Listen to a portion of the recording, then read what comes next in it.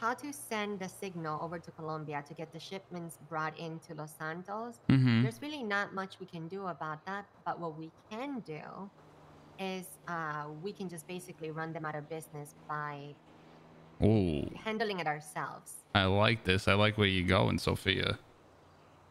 Yes, yes. And uh, this next part is really important to me personally because I'll have you know, Mr. Vinny, I wasn't involved in